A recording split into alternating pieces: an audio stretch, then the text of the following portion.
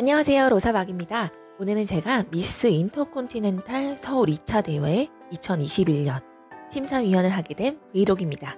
재미있게 봐주세요. 사전 심사는 제주도에 있는 레오 호텔에서 하게 되었습니다.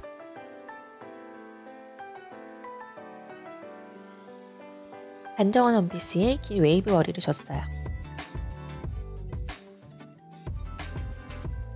심사위원 로사 정말 First Foundation에 감사합니다. 심사를 기다리는 동안 저 또한 많이 긴장을 했습니다. 하지만 Mrs. First Queen of the Asia 분들의 워킹도 볼 수 있었답니다. 저는 이날 beauty creator 로사로 소개되었습니다. 로사박 채널 조금 더 열심히 할게요. 그리고 이어서 참가자분들의 자기소개와 자기자랑이 이루어졌습니다.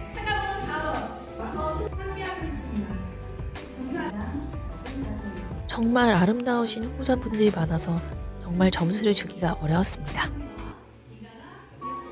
장기자랑 부문에서도 정말 후보자님들이 많은 것을 준비한 걸 알 수 있었어요. 후보자님들의 열정에 큰 박수를 보냅니다. 저도 대회를 나가서 장기자랑과 자기소개를 했던 경험이 있어서 그런지 남리같이 않더라고요. 열심히 하는 후보자님들 화이팅! 이날 사회는 방다은 아나운서님이 하시게 됐어요. 제가 영상을 촬영하는 동안 안녕. 로사님 심사 드려보겠습니다. 네, 안녕하세요. 로사입니다. 제가 저는 이런 사실 의상님 덕분에 저도 대회를 참여해본 경험이 있기 때문에 저도 처음 심사평인지라 많이 긴장을 했었나 봐요. 사전 심사는 먼저 탤런트 부문에서 수상을 하게 되었습니다. Number 11, 최보라.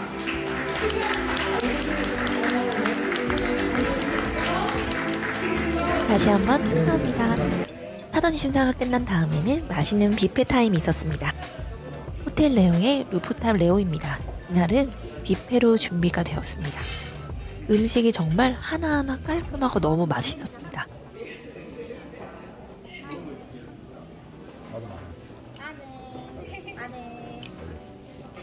첫 번째 플레이트입니다. 맛있겠죠?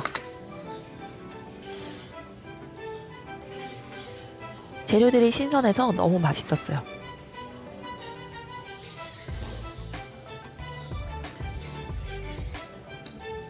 음료도 준비가 되어서 정말 맛있게 마셨습니다. 사실 로사는 술을 잘 못하는데 이날은 술이 거의 안 들어간 모히또를 만들어 주셔서 맛있게 먹었어요.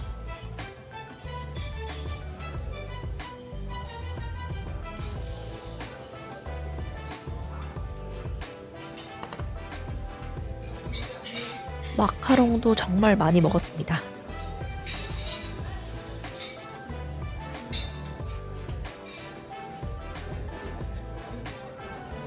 루프탑 레오는 제주 시내에서 높은 편인데 이렇게 제주 시내의 밤 야경을 볼 수도 있었어요. 이날 음료를 3잔 이상 마신 것 같네요. 제주도에 오신다면 루프탑 레오 꼭 방문해보세요. 이제는 오픈도 했다고 하니 많이 가보시면 좋으실 것 같아요.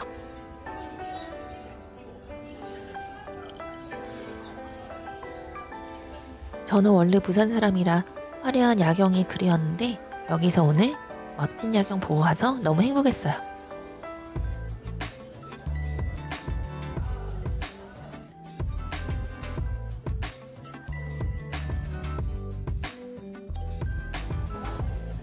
한쪽 벽면에 이렇게 전부 생화로 꾸며져 있어서 정말 예뻤습니다. 미스 인터콘티넨탈 사전 심사를 마치고 내일 있는 본선 대회도 화이팅 해야겠어요. 그럼 안녕.